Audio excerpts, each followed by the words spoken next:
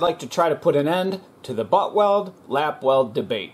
So to begin, let's take a quick look at the anatomy of the most common rust repair, and that's at the bottom of a fender, quarter, door, rocker, tailgate, or hood. We'll just move this guy out of the way. What you'll have is always have an inner panel, and that's on a hood, door, quarter, rocker. There's always an inner panel, and you'll find drains in there. And then you'll have the outer panel. And in dealing with the outer panel, you're going to have a lap weld that you must do, or a lap joint, or some type of pinch weld, and then the patch. The patch is going to connect to the outer panel, and you're either going to have you're going to have a, a lot of choices actually. A lap weld, a butt weld, fiberglass cloth, uh, panel adhesive, and it's good to know every type or every method. In this video, we're going to focus strictly on butt welding versus lap welding. Three constants or givens you can count on when welding a patch are number one, you can't guarantee that your welded seam will be waterproof. I cannot promise you that this will be waterproof, nor this butt weld.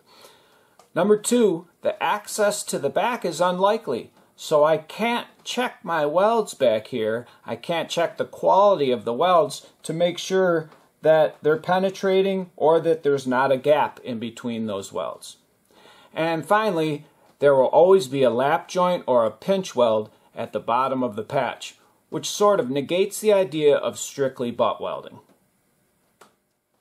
With all that being said, let's compare the two repairs, butt welding and lap and you'll be able to make an informed decision on what method will consistently last the longest and work best for you. Let's take a look at the first example. This is the original panel and this is the patch. It was butt welded and metal finished. And know that you need to be able to get behind it with a dolly and a hammer to work out any low spots. Is this seam waterproof? I don't know. Are there any tiny pinholes, hairline gaps, or paper-thin metal from grinding? I don't know. I can't guarantee that this is waterproof. In the next example, we butt welded using a gap between the sheets of metal right around the thickness of the weld wire. And on the outside, it looks pretty solid all the way across except for that little pit right there and I'm not sure if that goes all the way through or that's just a pit on the outside. If you flip it over it looks real good right here, good penetration, but right here I started to mess up a little bit and I might have a couple gaps.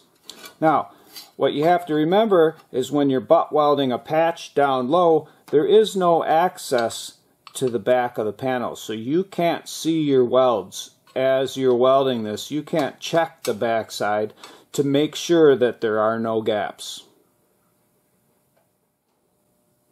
On the inside, as we drive the car, moisture enters the panel through window gaps, hood and fender gaps, and so on.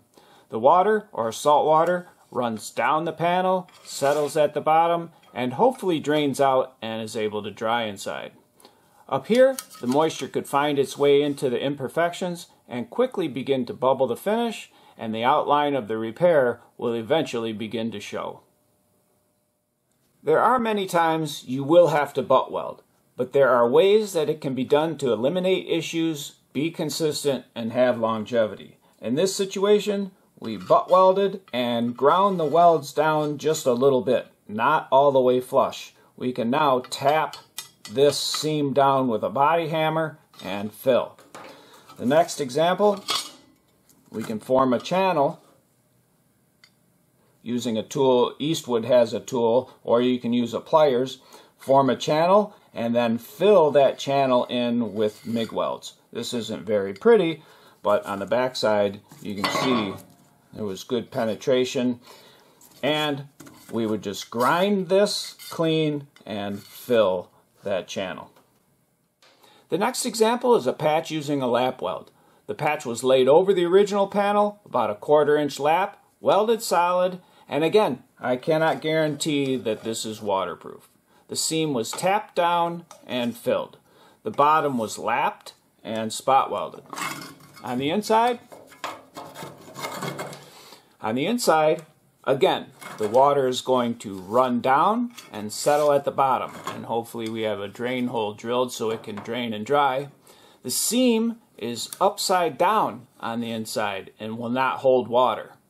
If there are any imperfections in the welds, you have a nice rigid layer of waterproof fiberglass reinforced filler that will protect the finish. My guess is that it's going to rust at the bottom or down here first where the salt water settles before there are any issues up here. It's important to remember that lap welds, butt welds, panel adhesive, fiberglass cloth, even JB Weld are viable options in rust repair, but must be used logically and correctly for maximum longevity. I hope you enjoyed this video on trying to put an end to the lap versus butt welding debate, and I hope it gives a clear picture of what's going on inside and outside of the typical rust repair. If you did enjoy it and you'd like to see my latest videos, don't forget to hit the subscribe button.